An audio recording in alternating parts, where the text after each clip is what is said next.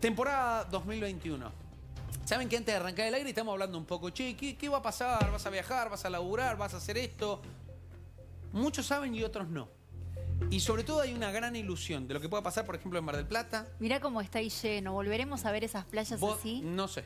Ojalá la, la que verdad sí. que no lo sé. Eh, por lo menos las eh, noticias que vienen Bueno, de Europa no. es que hay mucha preocupación en España por los rebrotes que hay ahora de coronavirus. Vamos a ver qué pasa. Obviamente vamos a estar hablando con, con, con alguien desde el Torreón del Monje, en Mar del Plata. Y también quiero saber un poco, porque nos olvidamos, que no es solamente la playa o la montaña. ¿Qué pasa con los carnavales? ¿Qué pasa con, por ejemplo, uno de los carnavales más importantes de la República Argentina o con los carnavales? Vamos a estar hablando con una de las embajadoras, que también hay mucha preocupación porque hay pérdidas millonarias de no haber carnavales, sobre todo, no sé, Gualeguaychú, que es uno de los emblemas del carnaval argentino.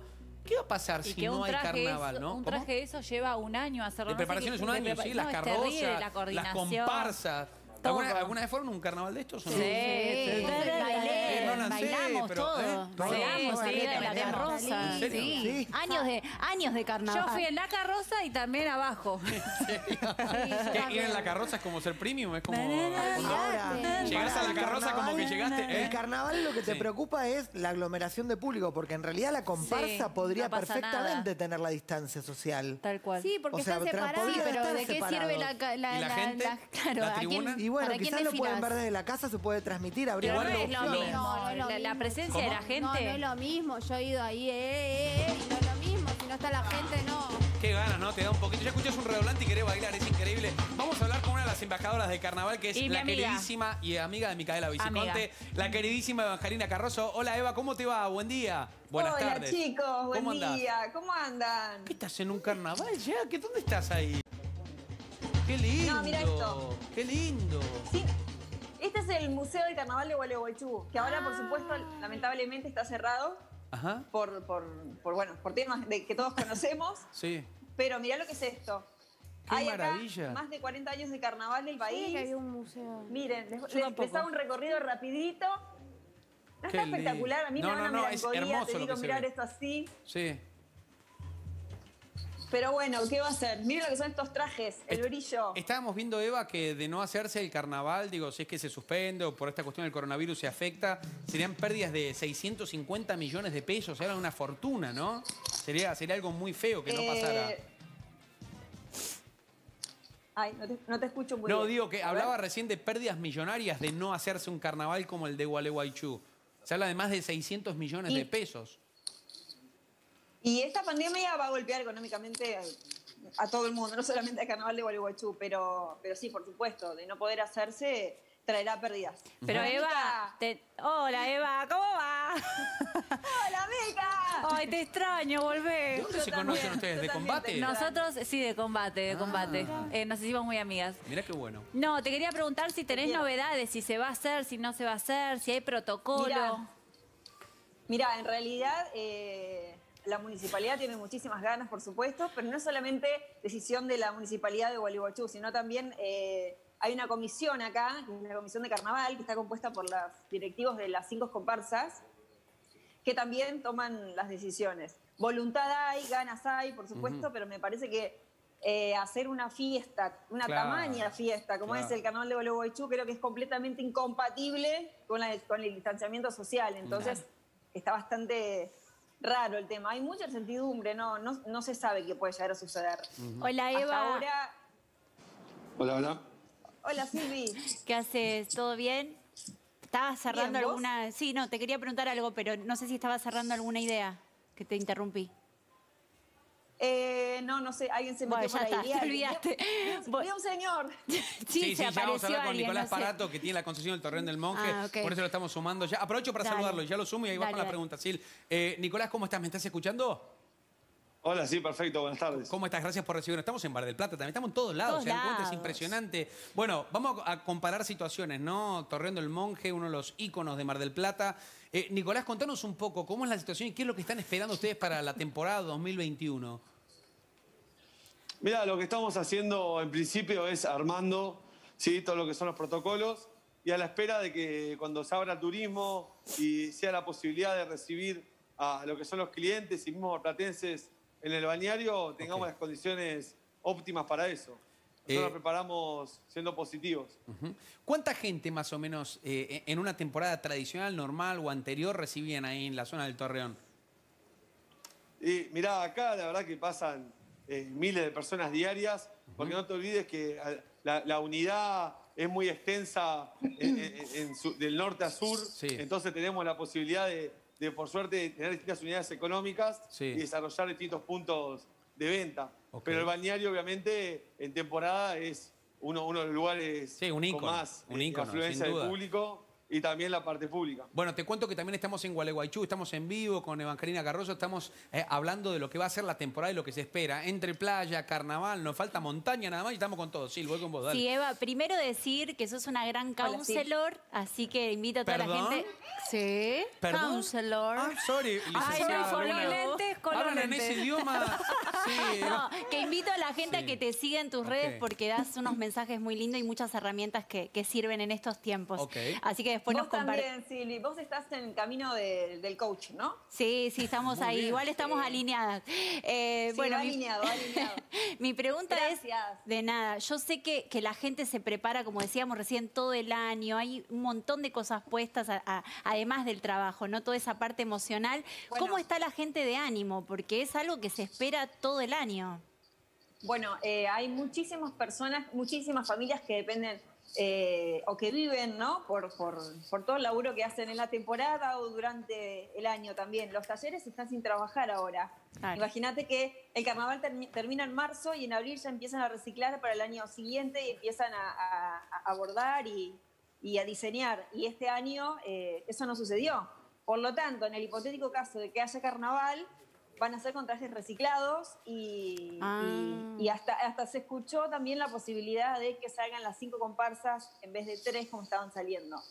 Pero bueno, serían recicladas. ¿Y el público? Y bueno, ¿y el ánimo? El ánimo, eh, Silvi, y de algún modo esta pandemia eh, no, pasa, no pasa desapercibido por la vida de nadie. No. Y la verdad que, y menos por, por la- los carnavaleros, esperamos todo el año eh, esta fiesta. Eh, viene muchísima gente y entonces es como que, y da un poco de tristeza. No, Pero sí, bueno, es como que de algún modo tenemos que ser conscientes y adecuarnos a, a, bueno, Igual como que decíamos, Eva, o sea que eh, nadie se la espera, Todo nadie lo esto, puede manejar. todo esto es muy dinámico. Hasta antes de ayer nos habíamos ido a ver temporada de verano. Se confirmó que va a haber temporada de verano y ahora empezamos a hablar de otra cosa. Es ¿Cómo va a ser? ¿Qué protocolos van a tener? hecho, Le quiero, le quiero preguntar a Nicolás, que está desde Mar del Plata, Ah, desde pensé un que a mí, lugar, sí. no, de, de- de un lugar tan mítico como el Torreón. ¿Cómo fue la temporada anterior? Y si te tuvieras que olvidar en este momento de si, está en peligro o no la temporada que viene, ¿qué expectativas tenés? ¿Cómo va a ser esta temporada? Porque yo tengo contradicciones. Por un lado siento que quizás cuando se abra la posibilidad de ir de vacaciones el público va a explotar porque está mucho tiempo guardado y por el otro lado tenés la, la angustia de no saber cómo va a ir. ¿Qué pensás vos? No, la temporada pasada la verdad que fue muy buena y nosotros en el Torreón tenemos la, la posibilidad, como decía antes, de tener diversas opciones. Desde el Teco Way, que por ahí ahora tiene un auge impresionante por todo lo que es eh, estar al aire libre, consumir algo al paso.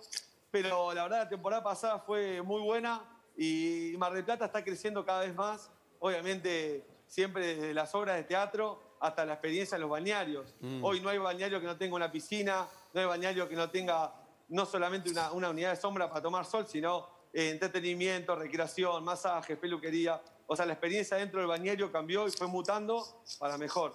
Yo creo que esta temporada hay que adaptarse a esta nueva realidad, como se llama, y tener la, la- la- la preparación tanto de capacitación de los colaboradores de cada empresa, como también de los clientes que, que, se- que sean conscientes de la situación que está viviendo y que respeten a rajatabla los requerimientos de cada bañario. cuanto Para a lo mí económico, es una oportunidad Porque siempre se habla muchísimo de los precios, por ejemplo, los precios de, la- de las carpas, de los alquileres, que cada vez y cada año están mucho más caros y la verdad que son extravagantes.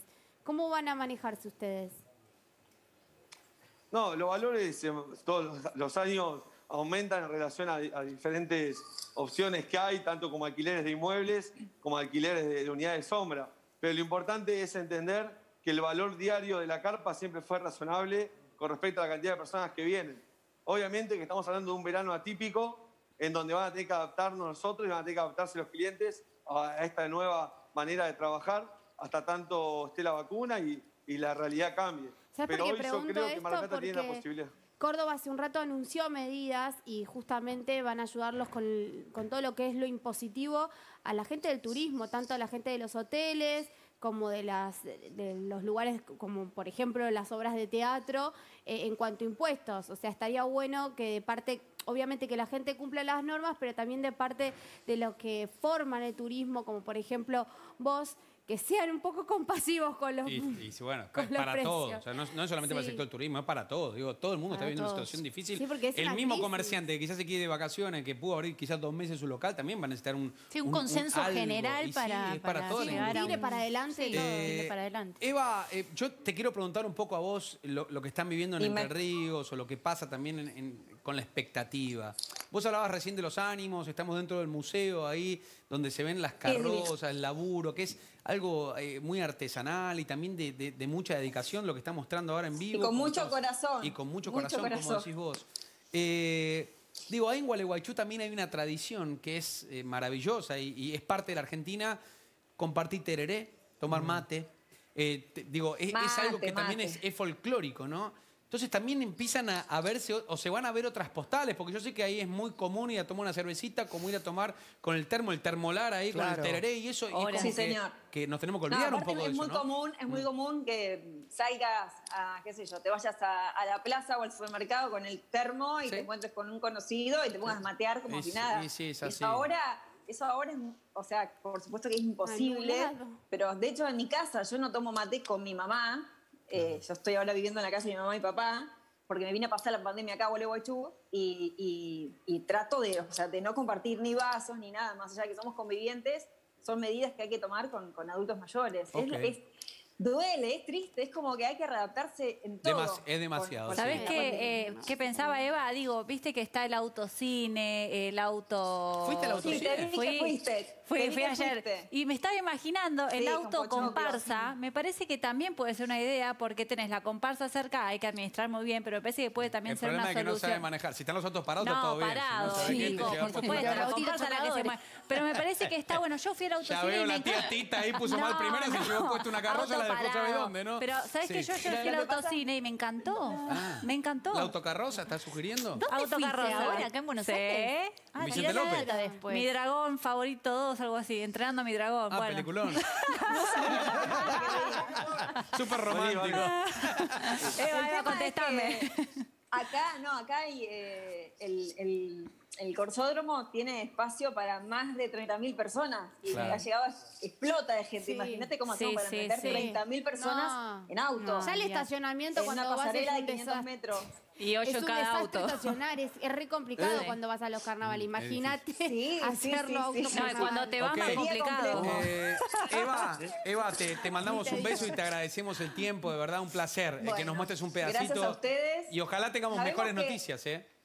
Sí, sí, igual en, en, eh, a nivel país se están suspendiendo un montón de, de actividades y bueno, inclusive el Carnaval de Río de Janeiro también se suspendió, se pasa para marzo creo, Ok. Eh, así que bueno, hay que readaptarlo. Bueno, vamos, todo, vamos a ver qué pasa. Como decís, bueno. Vamos a ver qué pasa. No seamos tan ansiosos, vamos a ver qué pasa y qué decisión se toma. Un beso, Eva. Veremos, veremos. Dale, que un sea beso. lo mejor. Besos Un- para todos. Gracias a, a- a Marcela Fayad que me abrió eh, eh, el Marcelo, museo y a. Ferrari y a toda cultura de Gualeguaychú. Dale, bueno, un beso a todos ahí, un beso Gigante, chicos, qué lindo que es gracias. Gualeguaychú. Beso, Bueno, eh, Nicolás, también te agradecemos, gracias eh, por estar ahí en Mar del Plata, un cariño muy grande a todos los marplatenses y a todos los que nos abren también las puertas para, para ver lo que está pasando con la industria del turismo que nos preocupa a todos. Un abrazo, Nico. Gracias, muchas gracias a ustedes. Un cariño, dale, chau, chau.